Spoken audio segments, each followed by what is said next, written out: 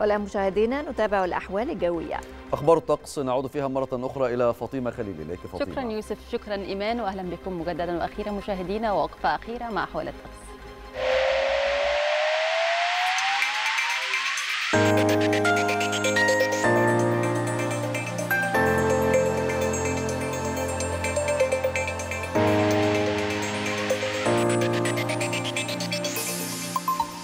يتوقع خبراء هيئة الأرصاد الجوية أن يسود الأربعاء طقس مائل للحرارة نهارا على القاهرة الكبرى والوجه البحري والسواحل الشمالية وشمال الصعيد. حار على جنوب سيناء وجنوب الصعيد لطيف في أول الليل مائل للبرودة في آخره على كافة الأنحاء.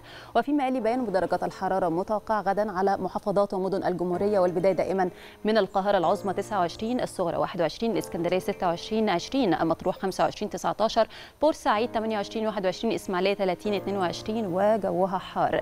بالنسبة للسويس 29 22 العريش 27 18 طابة 29 20 شرم الشيخ 33 20 الغردقة 31 23 وجوها أيضا حار. بالنسبة للأقصر 33 20 أسوان 35 22 الوادي الجديد 31 19 شلاتين 33 24 حلايب 30 24 وجوها أيضا حار. والآن نستعرض معكم درجات الحرارة المتوقعة غدا في عدد من العواصم والمدن العربية والعالمية.